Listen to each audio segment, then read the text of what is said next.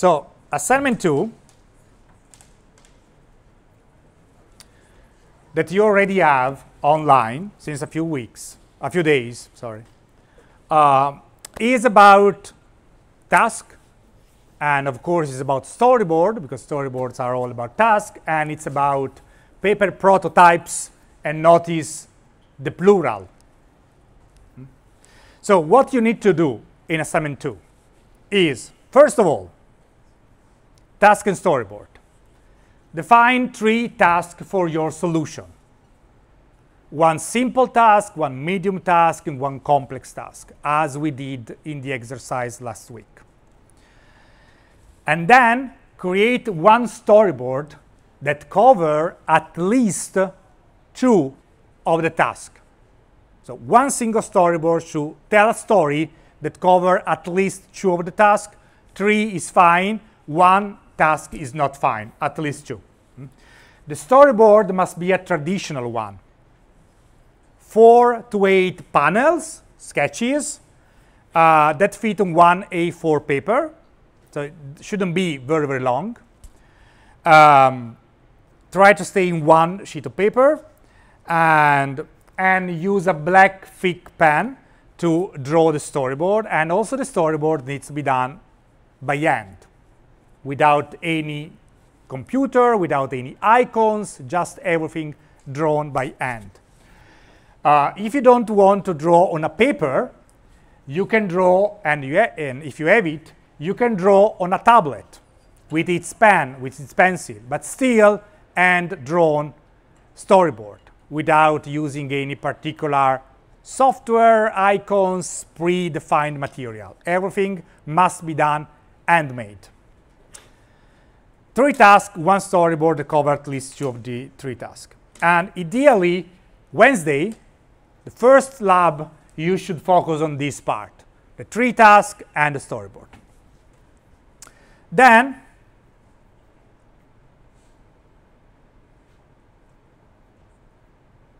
if I can go to the back of the page, to the end of the page without triggering a new page.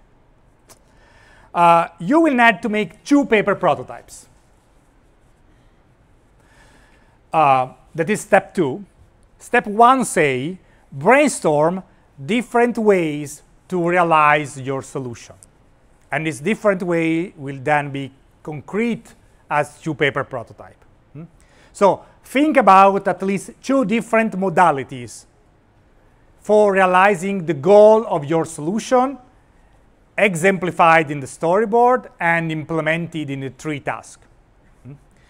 Which is modality. Modality is either a way of interacting with a specific device type um, or a way of interacting. And write down the two modalities you select and why you select them.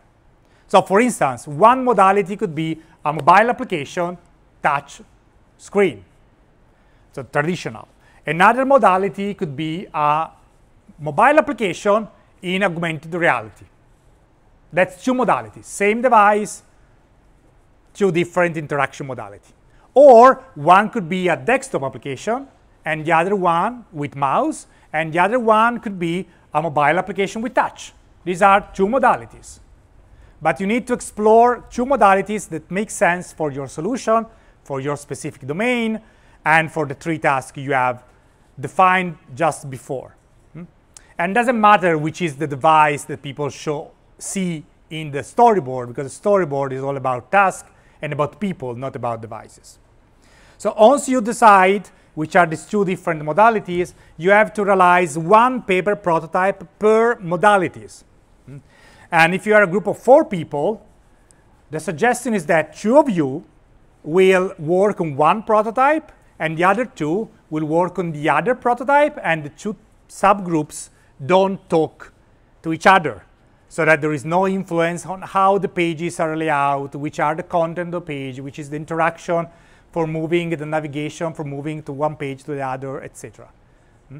If you are in four, that's easy. Two people, prototype one, other two people, prototype two, and they don't talk until the end of the realization of the prototype. They talk before for the task, for the storyboard, and for the different type. uh, the different modality, but from that moment on, they don't talk. And also proper prototype uh, should be hand-drawn without predefined materials, etc. And also similarly to the uh, to the previous case, you can use a tablet and a pencil to draw them if you want. But in the end, you will need them on paper. So you will need, at a certain point, the paper prototypes on paper, physically on papers. Uh, paper prototypes must be in black and white. And then, hmm, uh, here say that the realized prototype should be complete enough for allowing teacher to understand the essence of your application and to guide an hypothetical new user through each of your three tasks. Uh, and the prototype can contain entire screen, uh, cut out, so sm small piece of paper to overlap to this big screen, etc. And small details are not important. For instance, the copyright policy page, not something to do. The login page, if not needed, not something to do. And all of this is not needed to be included. Focus on the three tasks and your solution, not on the necessarily but not useful pages in this moment. And the interface should enable your target user to navigate, recover from error, change their mind, as in the design principle we have seen. And ideally, a developer, different from you, should be able to use your prototype to create the user interface of a functional application, ideally. So it should be clear enough and readable enough. Uh, after making the two prototypes, the test asks you for two high-level flow diagram.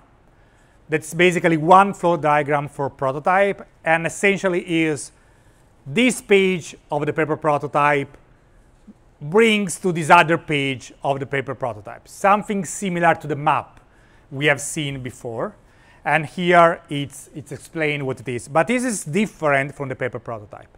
You will have the paper prototypes, and then you will have the diagrams representing the flow between the paper prototypes. And then the last thing is it asks you to set up the prototype for the heuristic evaluation. That is assignment three. Uh, that essentially mean be sure to have all the pieces of paper to make the prototype work.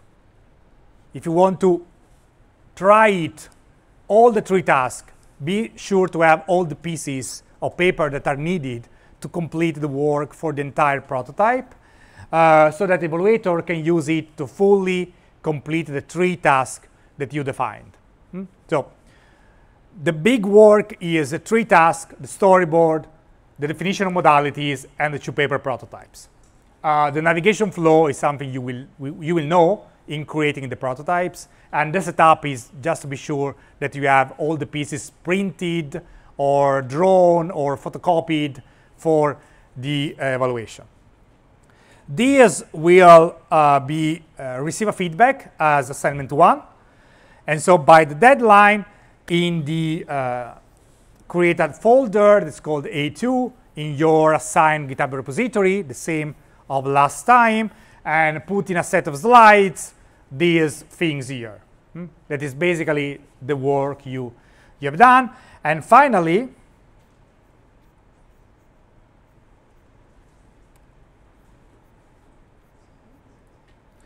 um, as for well, as for the first assignment, Mm, there are also in this case grading criteria that we will use at the exam, uh, not now, not for the feedback, with the relative uh, weight of each part. So task accounts for 20% of the score of this assignment, and say the task should be complete and communicate the goal of the target user, and the simple, moderate, complex tasks are labeled appropriately. The storyboard is 15%. There is motivation. There is no UI within the storyboard, the modality exploration is 10%, the paper prototype, both are 50% of the score.